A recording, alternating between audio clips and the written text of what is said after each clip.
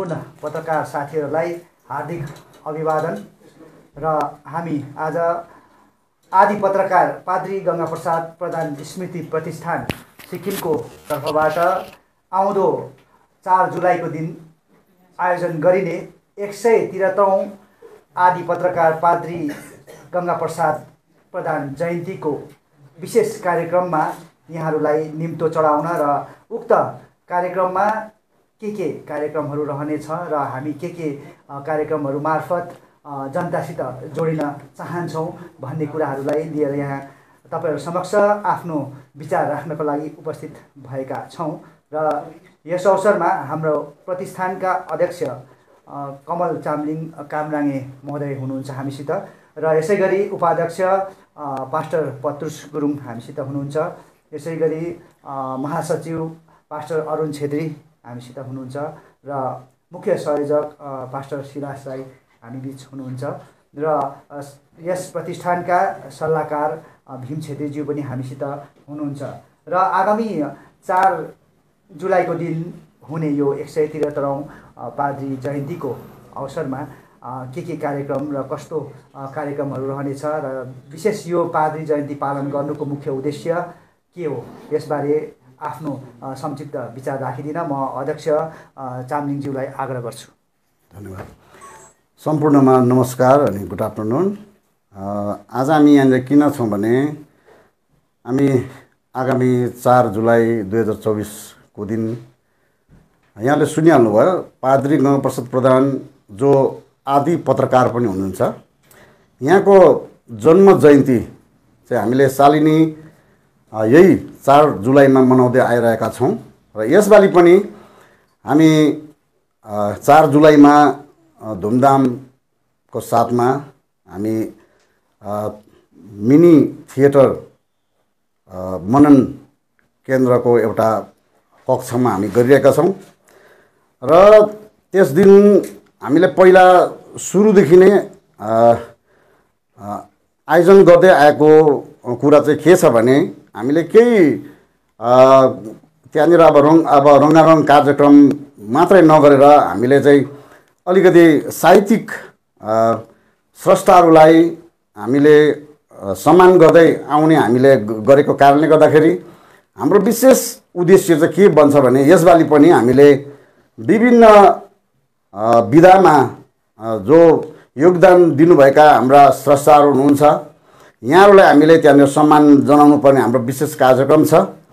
र विशेष गरिकन हामीले अध्यात्म क्षेत्रमा विशेष उत्कृष्ट योगदान दिए बापत त्यस्ता व्यक्तित्वलाई हामीले सम्मान जनाउँदैछौँ। अनि त्यसमा हाम्रो विशेष गरिकन अध्यात्ममा हामीले यसपालि अध्यात्म रेभरेन्ड पिएस तिङ्बोलाई दिँदैछौँ अनि पत्रिक पत्रकारितामा अर्पण प्रधानज्यूलाई हामी सम्मान गर्दैछौँ।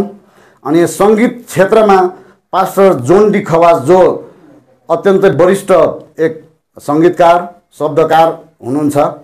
उहाँलाई हामी यसपालि सङ्गीतको क्षेत्रमा उहाँलाई हामी सम्मान गर्दैछौँ भने अनि विशेष गरिकन साहित्य क्षेत्रमा पनि विशेष गरिकन पाद्रीको आफ्नो योगदान चाहिँ विशेष गरिकन साहित्य क्षेत्रमा भएको कारणले पनि हामीले साहित्यलाई पनि सेवा गर्दै आउनुभएका श्री टेकबहादुर गुरुङ जसलाई तामी पनि भनेर हामी जान्दछौँ उहाँलाई हामी सम्मान गर- गर्दैछौँ। अनि पाँचौँमा विशेष गरिकन पाद्री आफै एक सामाजिक व्यक्ति समाजको हरेक कुरोलाई उहाँले सम्हालेर लानुहुने समाजको हरेक कुरोलाई उहाँले आफ्नो जीवनको एउटा एउटा भाग बनाएर लानुहुने भएको कारणले गर्दाखेरि हामीले सधैँ चाहिँ यसपालि पनि सामाजिक क्षेत्रमा उत्कृष्ट योगदान दिने विशेष गरिकन रेभरेन्ड सिसोदेम्बा उहाँलाई पनि हामी यसपालि सम्मानित गर्दैछौँ। र छैटौँमा हामीले विशेष गरिकन पाद्रीले तप तपाईँ हामी सबैलाई याद छ शिक्षामा विशेष गरिकन उहाँको योगदान रहेको थियो। स्कुलको पाठ्य पुस्तकदेखि लिएर हामीले पढ्ने वर्णमालादेखि लिएर हामीले हेर्ने शब्दकोशदेखि लिएर इत इत्यादि इत्यादि कुरोको विशेष गरिकन उहाँले यस्ता क्षेत्रमा काम गरेर समाजलाई योगदान दिएको देशलाई योगदान दिएको कारणले गर्दाखेरि आज हामी यो जुन प्रतिष्ठानको तत्त्वावधानमा जति जति हामी यसरी जयन्तीहरू मनाउँदै जान्छौँ त्यति बेला हामीले शिक्षा क्षेत्रमा विशेष गरिकन उत्कृष्ट योगदान दिनुहुने शिक्षाविद अथवा शिक्षा क्षेत्रमा योगदान दिने व्यक्तित्वहरूलाई हामीले सम्मान दिँदै आएको कारणले गर्दाखेरि यसपालि चार तारिक दुई हजार चौबिस पनि हामी जङ्गु क्षेत्रका लुन प्राइमेरी स्कुललाई हामी स्कुललाई हामी सम्मानित गर्दैछौँ र यसबाहेक हामी विशेष गरिकन त्यहाँनिर विभिन्न विशेष गरिकन पाद्री विषय कतिवटा हामीलाई स्रोत वक्ताले विशेष विशेष कुराहरू लिएर आउँदै हुनुहुन्छ। अनि सारा सिक्किमबाट धेरै चर्चिसहरू अनि त्यसबाहेक जति पनि साहित्य रागीहरू साहित्यमा खुबी राख्नेहरू साहित्यमा आफ्नो दखल राख्नेहरू जति पनि छन् उहाँहरू सम्पूर्णलाई हामीले यसपालि आमन्त्रित गरेका छौँ। अनि यहाँहरू सम्पूर्णको उपस्थितिमा यसपालिको पाद्री जयन्ती धुमधामसँग हुनेवाला छ। अनि त्यसमा हामी सम्पूर्णलाई हात जोडेर तपाईँहरूलाई हार्दिक हार्दिक हामी निमन्त्रण गर्न चाहन्छौँ। धन्यवाद। यसमा हाम्रो कार्यक्रमको अलिकति यहाँनिर को कसको उपस्थिति हुनेछ भन्ने विषयमा हामीले अब अलिकति म जानकारी दिनको निम्ति म उपाध्यक्ष अ, पद्रुस गुरुङलाई अवगत गराउन चाहन्छु अ, यहाँ सबैलाई फेरि नमस्कार। यहाँहरू सबैले विदित भएको कुरा हो। यो आगामी चार जुलाईको जुन चाहिँ आदि पत्रकार गङ्गाप्रसाद प्रधान जन्म जयन्ती जो हामीले यसपालि भव्यताको साथमा पालन गरिरहेछौँ यसको मुख्य अतिथिको रूपमा रहनुहुनेछ समान माननीय मन्त्री महोदय जिटी ढुङ्गेल सर जो यस वर्षको हाम्रो यस प्रतिष्ठानमा उहाँको मुख्य अतिथि रहनेछन् भने हामीले अरू अन्य व्यक्तित्वहरूलाई पनि विशिष्ट अतिथिको रूपमा हामीले धेरैजनालाई निम्ताएका छौँ र यसैमा म जोडेर विशेष गरिकन चर्चका सबै सदस्यहरूलाई पनि यो बताउन चाहन्छु। पादी गङ्गाप्रसाद प्रधानले अ, सामाजिक क्षेत्रमा साहित्य क्षेत्रमा अन्य अन्य जति पनि जुन चाहिँ यो शिक्षाको क्षेत्रमा जतिको योगदान दिनुभयो त्यस्तै प्रकारले आज हाम्रो हातमा भएको नेपाली जो बाइबल छ उहाँले उन्नाइस सौ चौध सालमा चाहिँ नेपालीको बा बाइबललाई नेपालीमा पूर्ण उहाँले नेपालीमा अनुवाद गरेर उन्नाइस सौ चौध सालमा हामी कहाँ ल्याउनु भएको थियो जो दुई हजार चौधमा चाहिँ एक सौ वर्ष पुरा भयो। त्यस बेला त्यो सौ वर्ष अगाडि नेपालीको कुनै पनि अस्तित्व नरहँदाखेरि उहाँले नै नेपालीलाई बढोत्तरी दिएर अनि एउटा पवित्र धर्मशास्त्रलाई हामी कहाँ नेपालीमा ल्याउनु सक्षम गर्नुभएको एउटा व्यक्तित्व हुनु छ त्यस कारणले गर्दाखेरि म एउटा चर्चको हैसियतमा चाहिँ सम्पूर्ण मण्डलीलाई पनि यो आह्वान गर्न चाहन्छु। उहाँको निम्ति प्रार्थना गर्न र उहाँलाई सम्झना गर्न तपाईँहरू सबैको उपस्थिति अति नै अनिवार्य रहेको छ। धन्यवाद। अनि जाँदा जाँदै तपाईँहरूलाई धन्यवाद। दिँदा दिँदै एउटा कुरा चाहिँ भनिराख्न आवश्यक हामीले महसुस गर्छौँ। के भन्दाखेरि उन्नाइस सय सालदेखि उन्नाइस सय बत्तिस सालसम्म उहाँले लगातार रूपमा गोर्खे खबर कागज पत्रिका प्रकाशित गर्नुभयो।